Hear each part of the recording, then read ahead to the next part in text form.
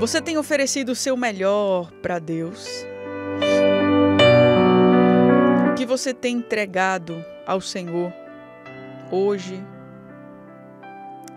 essa semana?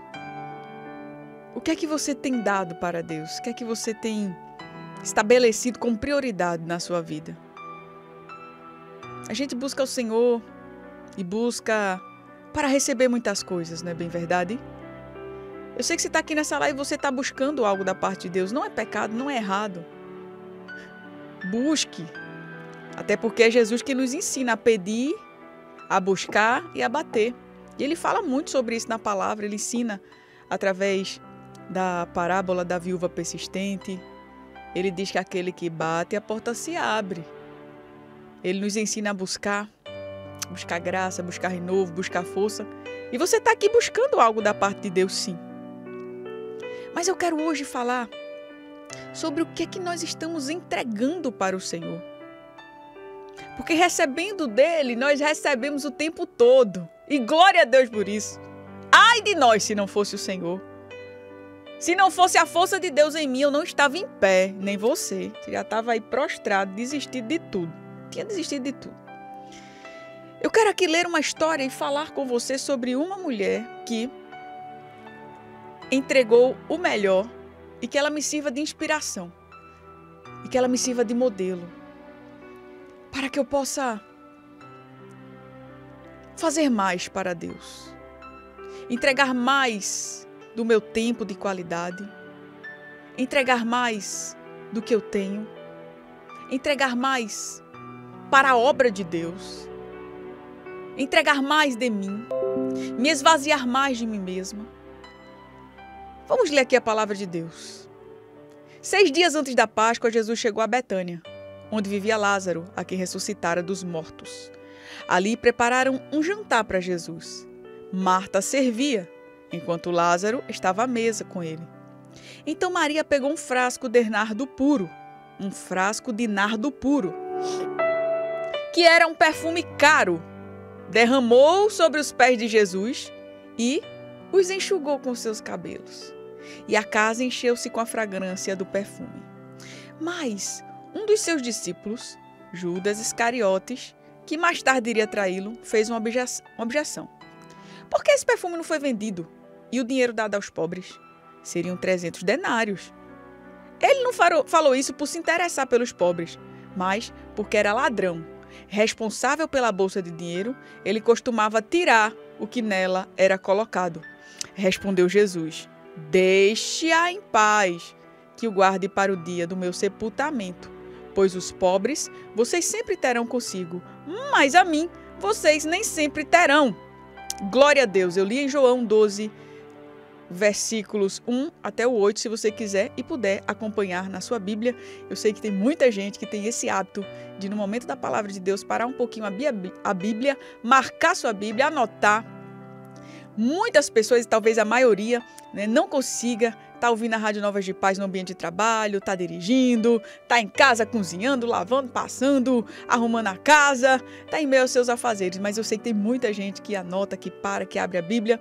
Então, se você está abrindo a Bíblia agora, eu li em João no capítulo 12. Eu li até o versículo 8. E a pergunta de hoje, eu quero te fazer não apenas essa pergunta, mas algumas perguntas. E quando eu faço uma pergunta aqui a você, eu faço essa pergunta a mim também. Porque eu sei que eu preciso aprender a colocar as coisas espirituais como prioridade. Será que eu tenho oferecido o meu melhor a Deus? Nós temos um hábito, o hábito de sempre dar o nosso melhor para a nossa família, para o mundo de uma maneira geral no trabalho, para os amigos. Mas para Deus nós bem sabemos que nós oferecemos as sobras, que nós oferecemos o resto. Não é à toa que muitas pessoas costumam dormir na hora da oração. Não é? Sabe por que você dorme na hora da oração? Eu vou responder a você agorinha. Você dorme porque você deixa o resto do seu tempo para orar. É no fim do dia, quando você já não tem força nem pra mexer no celular. Aí você ora. Você diz, vou orar agora e dorme. E pede a Deus, Senhor, abençoa os meus pecados. Deus, né? Aquela oração que não tem nada a ver. Senhor, me dá um dia de, de maldição, né? Você mistura as palavras que você não entende nem o que você está falando ali. Aí você dorme, aí você se cansa e fica algo desinteressante. Porque você deixa as, as sobras, o resto para Deus. Enquanto Deus ele pega Jesus e dá o melhor. Porque sabe o que Deus podia ter feito? Deus ele podia ter pego lá um anjo, um anjo de menor importância no céu. E poderia ter colocado aqui na terra para morrer por mim e para você. Mas ele pegou o melhor. Ele pegou Jesus, o seu filho único, coisa que eu não faria por ninguém. E você também não faria por ninguém. Ele ofereceu o seu filho amado, o seu filho unigênito, Jesus Cristo. Ele deu o mais precioso ele tinha. Aí eu vejo aqui Maria também fazendo algo semelhante. Numa menor proporção, obviamente. Maria, ela unge Jesus, derramando sobre ele um precioso, um perfume caro. A Bíblia conta que era tão forte o cheiro desse perfume caro que a casa toda ficou perfumada. Eu já tive a experiência de deixar quebrar um vidro de perfume no meu quarto. Eita coisa ruim, quando a gente não consegue segurar o perfume, ele cai no chão, se quebra. Quando o perfume é bom, o quarto ele fica com cheiro dois, três, quatro dias. Por mais que você tenha apanhado os cacos e limpado o chão, mas o cheiro do perfume fica entranhado lá. Eu imagino que foi mais ou menos o que aconteceu com Maria, quando ela quebrou o vaso e quando o perfume foi derramado sobre Jesus, o nardo, ele encheu a casa com o cheiro. Esse perfume, a Bíblia conta que ele poderia ser vendido por cerca de 300 denários. Que é isso, Clarissa? Era um salário de um ano de trabalho. Para você entender. Imagine você pegar um ano do seu trabalho e derramar nos pés de Jesus. E às vezes a gente se amarra, né, para dar uma ofertinha maior na igreja. Quando o pastor diz: Olha, tem a campanha para comprar as cadeiras, tem a campanha, a campanha para trocar o ar-condicionado da igreja, para comprar o som, para comprar os instrumentos da banda. A gente se amarra, né? Assim, sabe o que é isso? Não temos o coração disposto para doar para o Senhor.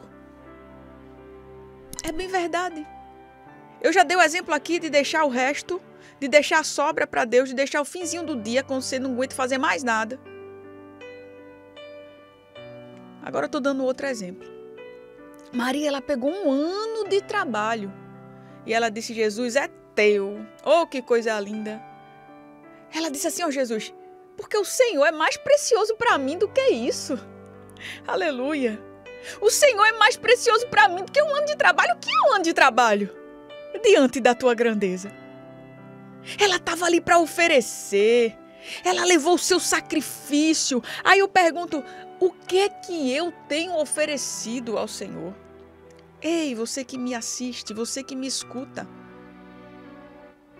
Eu gostaria muito que você refletisse sobre o que você tem feito para Deus. O que é que você tem entregado a Ele? O que é que você tem dado ao Senhor? Qual a tua disposição para doar? O que quer que seja. Vamos lá, vamos para o nosso tempo, porque eu considero o tempo algo extremamente valioso. Será que eu estou dando o melhor do meu tempo? É essa prioridade que nós devemos dar a Deus. Existem pessoas que precisam fazer hemodiálise, pessoas que têm problemas renais. O rim dela, os rins não conseguem mais filtrar o sangue como deveria. E essas pessoas elas precisam ir duas ou três vezes fazer esse procedimento para limpar o seu sangue.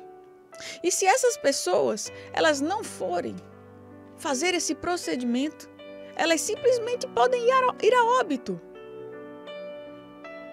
Até conseguir um rim novo, ela precisa estar tá lá naquele aparelho, passando ali. Eu não sei quanto tempo, mas acredito que é um bom tempo duas, três horas para que todo o sangue passe por aquele processo da retirada das impurezas. Escuta aqui uma coisa.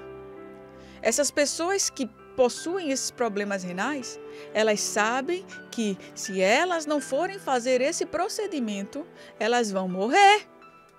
Escuta. Olha o Senhor falando com você. Você também precisa dessa hemodiálise diária espiritual. Se você não fizer esse procedimento, você vai morrer. O problema é que nós não temos consciência disso. O problema é que o tempo passa e nós estamos desapercebidos. O problema é que passa um dia, uma semana e a gente sempre acredita que nós podemos passar sem fazer a nossa hemodiálise espiritual. Nós acreditamos que nós podemos dar conta de tudo sem o nosso momento com Deus. Nós precisamos entender, olha Deus falando com você, que Ele é a sua necessidade vital. Você pode estar morto achando que está vivo. Você pode ser um pregador da palavra. Você pode ser uma pessoa que tem veste de crente, aparência de crente, fala como crente. Mas você pode ser um zumbi. Um morto-vivo caminhando por aí vazio, sem direção. Mesmo que todo mundo olhe para você e diga é crente. Escuta, essa palavra é para você, essa palavra é para todos nós e para mim também. Tá morto. Tá morto. Igual os cristãos da igreja de Éfeso. Você lembra quando Deus ele fala lá para a sua igreja? Sabe o que ele diz? Vocês estão fazendo tudo certinho. Aparentemente as coisas estão caminhando bem. Vocês estão frequentando a igreja, vocês estão indo em contra o que é mal, vocês estão até sofrendo perseguições pelo evangelho. Mas tem uma coisa para falar contra vocês: vocês abandonaram o primeiro amor. Vocês precisam se arrepender e voltar de onde vocês erraram. Porque senão eu vou tirar de vocês o brilho, o castiçal. Amada, amado do Senhor, você tem disposição para doar o melhor para Deus ou você está deixando o resto que não presta? Esse final de semana eu participei de um campeonato. Carinha, minha filha, ela já está mais alta do que eu, com 12 anos. estou falando aqui sobre dar o melhor. Ela já está mais alta do que eu e ela joga vôlei na escola. Há aproximadamente três ou quatro meses, ela já havia feito muitos esportes. Até jiu-jitsu Clarinha já fez. Porque ela sempre foi muito competitiva, mas não tinha um esporte que ela gostava. E aí ela descobriu o vôlei. E ela tá amando. E ela, modéstia à parte, é uma excelente jogadora. Para a idade dela, ela é alta, então ela sempre se destaca. E aí eu fui para um campeonato esse sábado, esse sábado agora. E sabe como é mãe, né? A gente fica lá, eu acho que acho que eu passei vergonha. Porque eu era que mais gritava, eu era que mais vibrava. Por que, que eu tô contando essa história aqui? Porque no final ela ficou em terceiro lugar. Ela e Bia, minha sobrinha. Terceiro lugar, foi em dupla. E competiram lá e ficaram em terceiro lugar. E foi uma festa, é muita emoção, né? E aí minhas sobrinhas vieram dormir em casa. Bia, Raninha, filha do meu irmão e da irmã do pastor Júnior.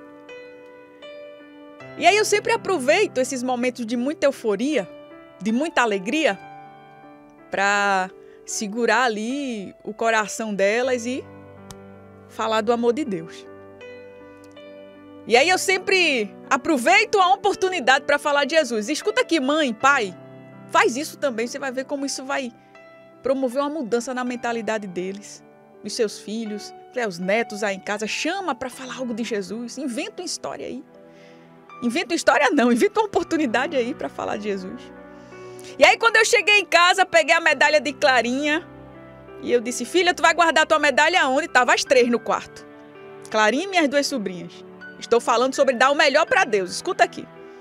Filha, tu vai guardar tua medalha onde? Ela, mamãe, eu queria um quadro assim pra gente pendurar as medalhas. Eu fiz, filha, só que um quadro não vai dar, porque eu sei que você vai ganhar muitas medalhas. Eu acho que eu vou fazer umas prateleiras aqui, bem grandes no seu quarto, porque essa é a primeira. E aqui vai encher, talvez nem dê nesse quarto. Talvez a gente vai ter que ter um quarto. E aí eu fiquei colocando ela para cima, né? Aí vai ter um quarto só para colocar suas medalhas, seus troféus, porque você, minha filha, é muito competitiva, né? E Bia também. Então eu sei que vocês vão se esforçar muito e vocês vão conseguir muitas medalhas. Aí elas ficaram lá vibrando, sonhando. Aí eu disse: "Vamos abrir a Bíblia aqui para eu mostrar uma coisa a vocês?" Vamos agradecer a Deus por tudo que ele fez hoje, pelo terceiro lugar que ele deu. Que ele deu. 1 Coríntios 9 e 24. Lê aí, Raninha, minha sobrinha. Aí ela leu. Ela leu assim: Vocês não sabem que de todos os que correm no estádio, apenas um ganha o prêmio? Corram de tal modo que alcancem o prêmio. Todos os que competem nos jogos se submetem a um treinamento rigoroso para obter uma coroa que logo perece. Ela fez, tia, tem tudo a ver com o dia de hoje. Eu disse, exatamente. Mas nós o fazemos para ganhar uma coroa que dura para sempre. Aí eu peguei a medalha assim e disse, veja, essa medalha aqui vocês se esforçaram muito para ganhar. Mas essa medalha logo vai enferrujar. E outra coisa, daqui a uns anos vocês vão morrer. Isso aqui vai ficar para quem? Isso aqui vai se acabar. Essa medalha que você ganhou, os troféus que você, os troféus que vocês irão ganhar daqui para frente, são bênçãos que vocês irão conquistar. Mas tudo vai se estragar. Vão ser esquecidos. Mas vocês precisam se esforçar para conquistar a coroa que dura para sempre. E aí aproveitei aquela oportunidade e elas, escutando ali a palavra de Deus, eu dei continuidade. Como vocês vão ganhar essa coroa? A Bíblia está falando aqui que todos os que correm no, no estádio se submetem a um treinamento rigoroso. Escuta, treinamento rigoroso. Todos que competem precisam treinar. Deixa eu te perguntar agora, você ouvinte da Rádio Novas de Paz, o que eu perguntei às minhas sobrinhas. Vocês estão treinando para ganhar essa coroa? Como é que tá teu treinamento espiritual? Você treinou semana passada? Você vai ganhar a medalha? Você vai ganhar a coroa eterna? Aleluia. Aleluia. Glória a Deus. Glória a Deus. Glória a Deus. Glória a Deus. Glória a Deus. Glória a Deus. Diga assim: eu preciso treinar mais.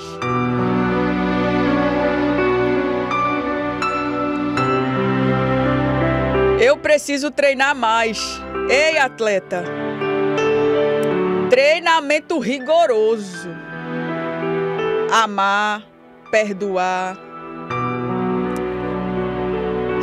disciplina no treino. Aí sabe o que elas disseram, tia? Mas é tão difícil ser crente, tia, porque a gente às vezes se esquece de orar. E às vezes até quando eu tô orando eu durmo. Aí foi quando eu falei para elas, olha, eu sei que a Bíblia ela tem resposta para tudo. Vamos continuar lendo aqui? 1 Coríntios 9, agora o versículo de número 26. Ele diz assim: Olha, sendo assim, eu não corro como quem corre sem alvo. Eu tenho um alvo. Eu não corro perdido. Eu não luto como quem esmurro ou seja, eu tenho um objetivo. Aí Paulo ele diz assim: Olha, mas eu esmurro o meu corpo. e eu faço dele meu escravo. Sabe o que é que ele estava dizendo aqui? Ele estava dizendo que quem manda é o Espírito. O problema é que muitas vezes nós queremos fazer o que o nosso corpo quer. Aí Paulo ele diz: opa, corpo, aqui quem manda sou eu, você é meu escravo. Você é meu escravo.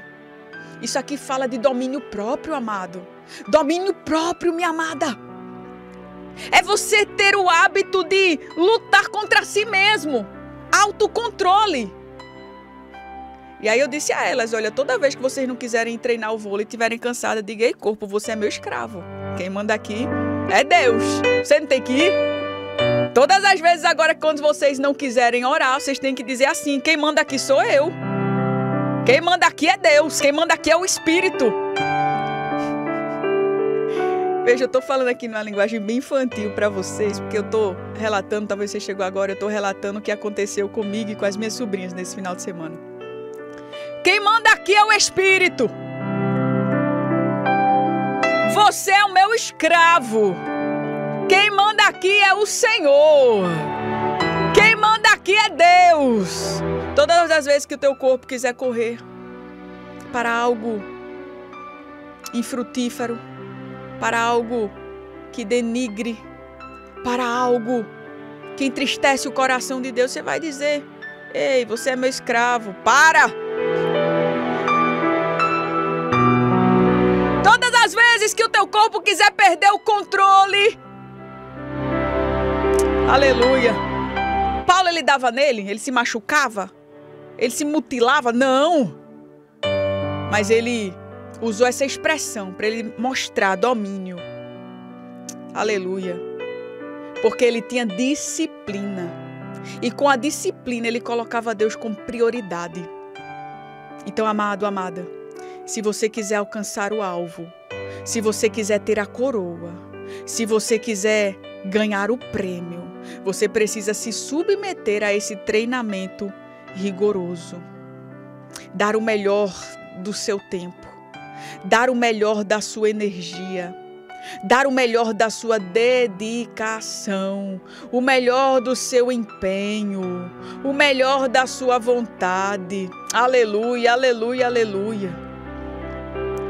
Dê o seu melhor. Dê o seu melhor. A gente pode continuar essa mensagem amanhã? Hoje é segunda-feira e eu quero passar essa semana falando nessa palavra. Dar o melhor para Deus. Hoje eu falei sobre